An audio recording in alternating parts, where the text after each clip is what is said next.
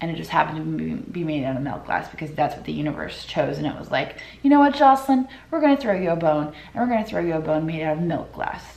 My family calls it my superpower. It's my ability to see value in things that other people might overlook.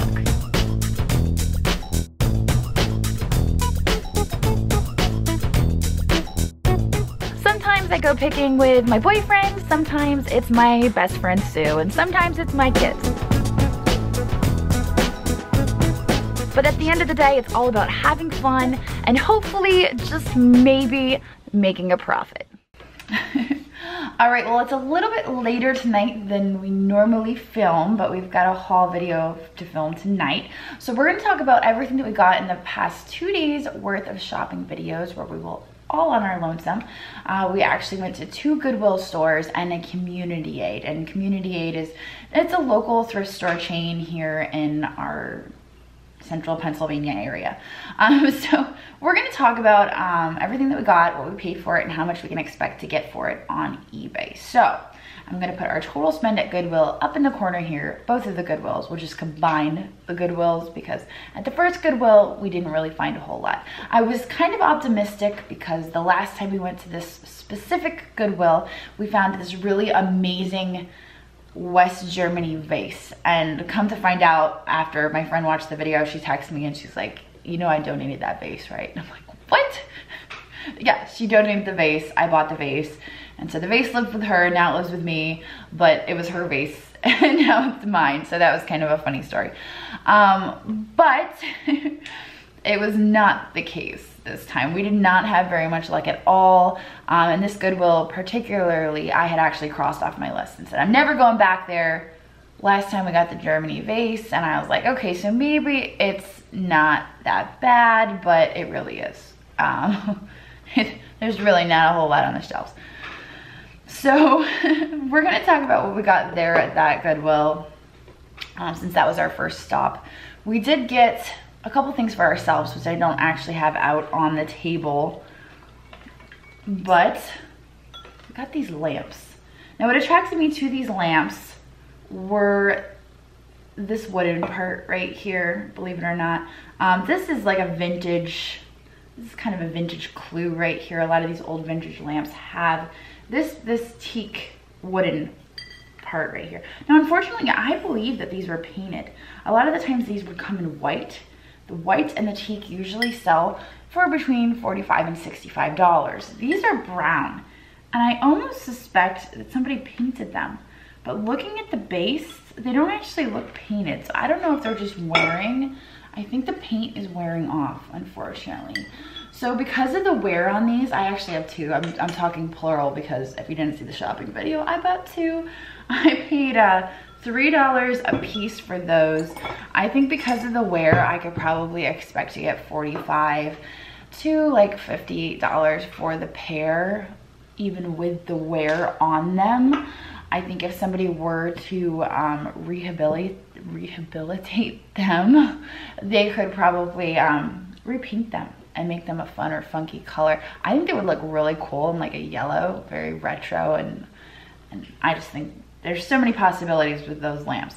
Um, but I really like them and for three bucks a piece, I could not leave them behind. So grabbed the lamps. That was at the first Goodwill. I also grabbed this, which I think is mostly just uh, for mail. It probably hangs on the wall. Unfortunately, the little bracket in the back has come undone, but that's an easy fix. What I liked about it is that it is hand painted. It is actually signed by the artist.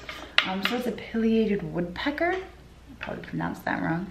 Uh, and I can't actually read the artist's name, but the artist was actually pretty good. And I like birds, as you know. And so I was attracted to this. And I thought it was a nice little nail thing for the wall. So I grabbed this. Um, for this, I could expect to get, I don't know, 18 to $24. I think what else we got at that Goodwill because I think that might be it. Uh, I also got a uh, shadow box that I am keeping for myself. If you watched the video, you saw that. And also a magazine rack that had an eagle on it for Andrew. And Um, I think that's really it. Oh, and a little owl wine stopper that Ashton found. You know, he loves glass. He found that and he's like, Mom, can I have this? I'm like, um, a wine stopper, Ashton. You don't need that. but he loves glass, so he was he was very interested in that piece. anyway, so the second Goodwill that we went to was a little bit better. It wasn't a lot better, but it was a little bit better. We bought this figurine here. Now this figurine is more than likely either Japanese or Chinese. It is made to look like a Dresden figurine, the Dresden lace. Um, a lot of the times you'll come across these figurines and they have this, this lacy texture and they are just elaborate. Um, but, but the quality of a Dresden lace figurine is just so outstanding that you just can't mistake them for anything else. The quality of this figurine is not to that standard, so looking at it, you can tell that it is not a Dresden figurine. It is just a Chinese or Japanese figurine that is made in the style of a Dresden figurine.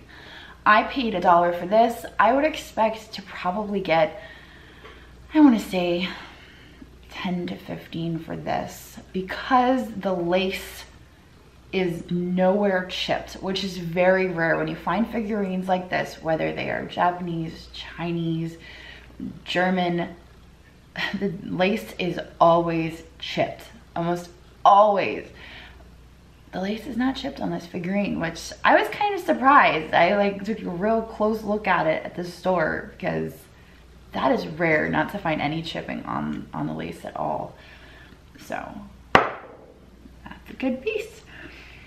Uh, also at that Goodwill, we got this box. Now when I picked this up, my initial thought was that was modern. It's marked China on the back. And Drew said the same thing. He saw it and he thought that's modern. And I opened it up and showed him the date. And so then he was second guessing himself as well. And that's what made me bought it because if I hadn't seen the date on it, I probably would have left it there. But because the date 1947 is on there, and it is 1947. I don't know if I'm gonna be able to get this to focus because of the ring light, but you can see clearly the date is 1947. Um, it's not 1997, it's 1947. so, because that date was on it, that's why I bought it. But otherwise I would have left it. I didn't think it was that old. I'm still not sold on the fact that it's that old. It could be more modern and somebody just scratched the date 1947 in it. I don't know why but I will probably just sell it as a vintage trinket box and not include the date. But anyway, we have a train coming. I'm gonna pause it and then I'm gonna tell you how much I would expect to get for the trinket box. I'll be right back. Okay. All right, so for the little trinket box, I would expect probably to get 15 to $20 for this because the inlay work is nice and because it's a nice trinket box. The hinges are good. I mean, it does have 1947 scratched in it, but I like, I like it. All right, um, from that same Goodwill, we bought this. Um, this is just a little oil lamp. It actually has a mark on the dial, but I don't know what that means. Um, I believe this is probably made in Japan not positive on that. And I'm not an expert on these lamps at all. People always ask me about oil lamps and I'm, you know, I could tell you about mid-century lamps all day, but oil lamps, no clue. um, for this lamp though, I would expect between 18 and $24 for this. It is a nice little dainty milk glass lamp with flowers on it and they are transfer I can see little dots from the transfer on there. So it's not hand painted, but it, it does have a floral design on it. So it's nice. It would, it's like a little, I like, I like the milk glass and the florals. I don't know. It's the thing. I don't like milk glass, but I like milk glass with florals. But we'll get, we'll get to the milk glass where I totally, um, yeah, we'll get to that. Um, okay, also at the Goodwill, we got this mug. It's our Tennessee mug. You know, with the guy who's drinking lots of moonshine because that's what everybody in Tennessee does. Please don't get mad at me. I'm just talking about the mug. Um, I know that's not the case. So I, uh, I scratched off the bottom. I paid a dollar for this. I scratched off the, the tag and it's made by Federal Glass Company. It is a milk glass mug.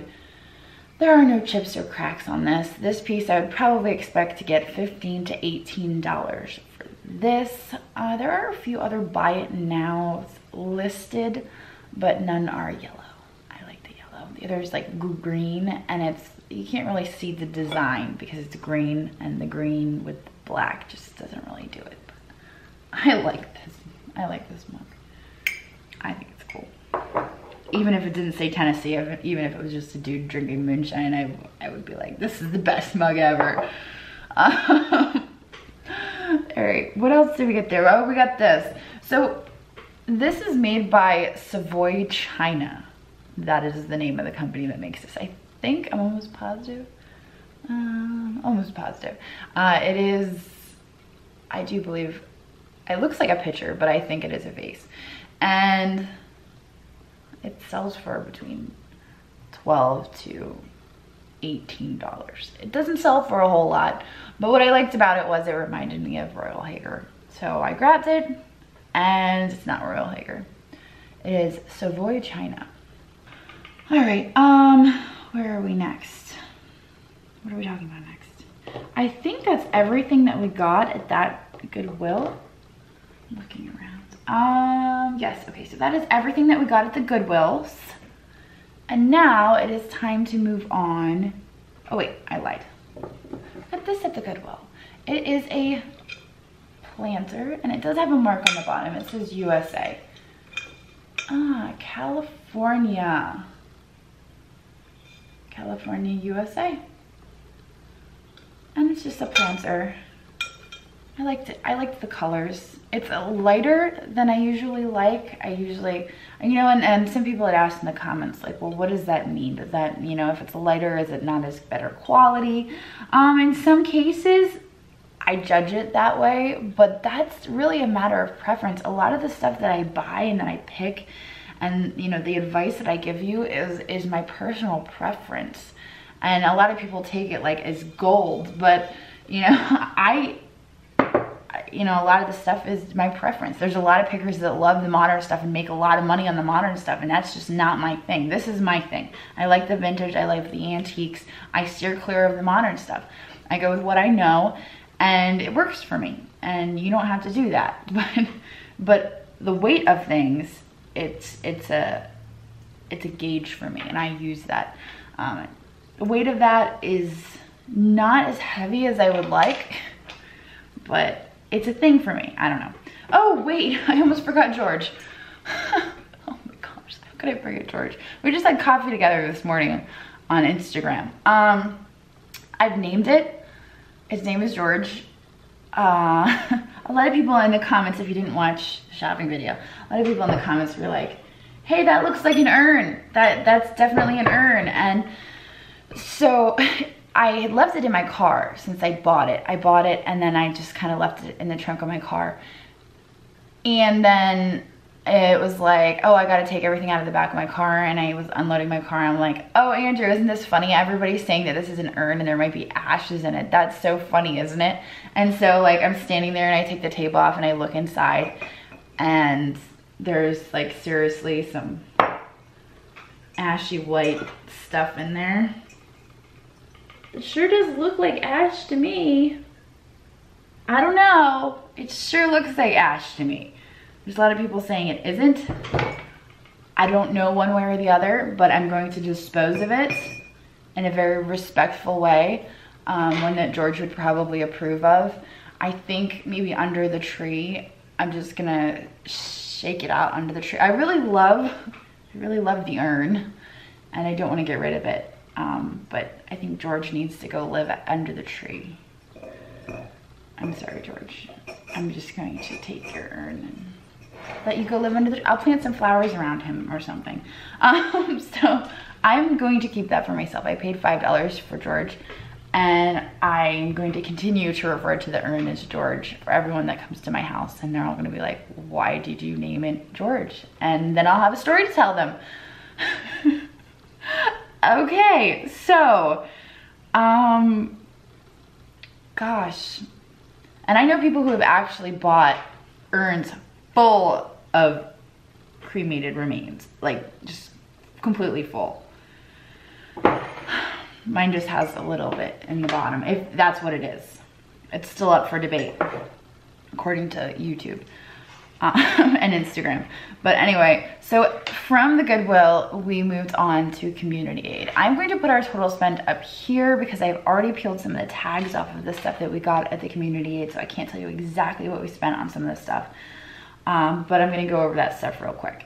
So we bought these they're flower flower pots, I guess.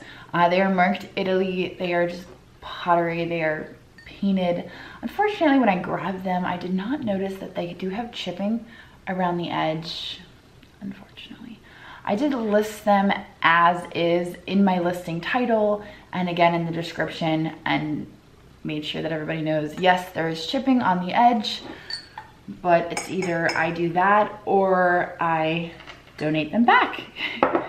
And if somebody's going to appreciate them who's watched my videos, that's what I'm going to do. So I started them at $2, I think, really low. Um, but those are already on eBay. Now let's see, what else do we get?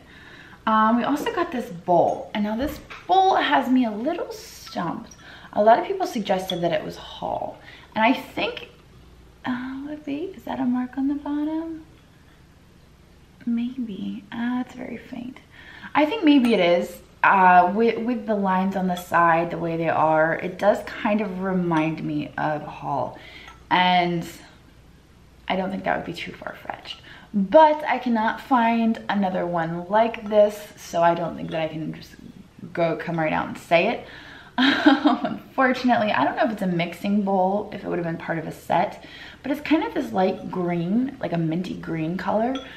I really like it. And then we get back to the weight. I really like the weight of it. I like that it's heavy. It, it feels good. It's a good weight. It's a good balance. It's a good bowl. No, no chips, no cracks. So it's a lovely bowl. Uh, now we're gonna talk about this. Now this is just a little souvenir cup. It says Hawaii. It's got flowers on it. It's got a little tiki guy. It's got a beach scene definitely vintage, probably a souvenir piece. It is a Majolica, um, but I liked it. I liked it because it's Majolica and because it had the Tiki Man on it. I love stuff with Tiki guys on it. Now this plate is actually painted in Bavaria. So it took peeling off our sticker to figure that out. Um, this one was $2. And I think there's actually a mark underneath the Bavaria. So unless this is like a valuable mark, if this is, you know, something worthwhile, I would expect this to probably sell for between 18 to $24. Unless it's something special but I don't know what the mark is, just looking at it, so I couldn't tell you. This piece, on the other hand, I really like this piece. And they put the sticker down here instead of over the mark. Uh, this is Noritake, so this is Japan. Paid $5 for this piece. This piece I would expect to sell probably in the same range. Between 18 and 24. I love that green. That green just totally pops. I liked about that. And this is hand painted without a doubt. You can actually see the brush strokes. So, green is fantastic. Uh, we got some mugs. We got these Mikasa mugs. They're holiday mugs. They've got pine cones and poinsettias on them.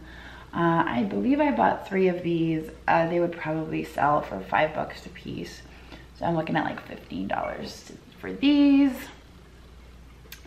I don't know how much I paid for them because there's no price tag on them and I'm pretty sure I didn't peel the price tag off either so who knows maybe they were free I don't even know where the third one is. Oh wait, it's right in front of my face. Yeah, uh, I don't know. Now, my favorite piece from the entire shopping trip. And you guys are gonna laugh because I broke my own rule. I seriously did. But even Andrew came over and looked at the table and he hadn't seen the video and he didn't know what I bought. And he said, that is so cool. Oh my gosh. And so I think I won. Yes, it's milk glass, but I have never seen a piece of milk glass like this before.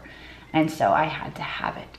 Um, this piece right here, I believe is a an ashtray. A lot of people were suggesting that it was a spoon, spoon rest, but I'm pretty sold on the ashtray idea. I found one other one listed. It was blue glass. It was listed as Fenton. I'm pretty sure it's not Fenton. I, I would think, and this is just a guess, if I had to guess the maker, I would guess Viking or L.E. Smith, but I don't know. I honestly don't know who makes this. I just love the lines of it. I love the shape. It's very mid-century modern. It's such sleek design. It's abstract. It's just, it's perfect in every single way. And there's no chips or cracks. When I saw this on the shelf, I totally geeked out, I'm not gonna lie. If it was made out of wood, if it was made out of glass, no matter what this piece was made out of, it spoke to me and it just happened to be made out of milk glass because that's what the universe chose. And it was like you know what jocelyn? We're going to throw you a bone and we're going to throw you a bone made out of milk glass. Okay universe i'll take it. Um, so anyway i am not sure how much this piece would go for. I have searched on ebay i have searched on worthpoint i don't know i just don't know. So i think i paid six dollars for this it was a little bit steep, but it was totally worth it. I guess eBay will determine how much this goes for. But um, I'm excited. And if you guys have any information about this, feel free to drop it in the comments. Because I would love to know. If you know who makes it, let me know. Because if I ever come across another one, I would love to be able to say, I know who makes this because one of my viewers was like, but. Um, anyway, this is everything that we got in the past few days worth of shopping. And I think we did pretty good. I mean, there at the end, community aid really came through and that's the community aid that I'm always like, oh, I hate this community aid. I never do any, never do well at this community aid. Um, well, they came through for us with that milk glass bird. So I gotta give them some props. They did all right. And, uh, you know, that's actually my local community aid. That's like the one in the town that I live in. The one that you usually see me filming at is the one that's like 50 minutes away from me. And I drive there to film because that's where all the good stuff is. So, so uh, yeah, I think we did all right. But anyway, I'm going to end this video here. I'm gonna go edit this video and I'm gonna get some rest and I will see you all tomorrow later. Don't forget to like and subscribe, and if you've spotted something that you just can't live without, don't worry. I've put a link to our Etsy store down in the description.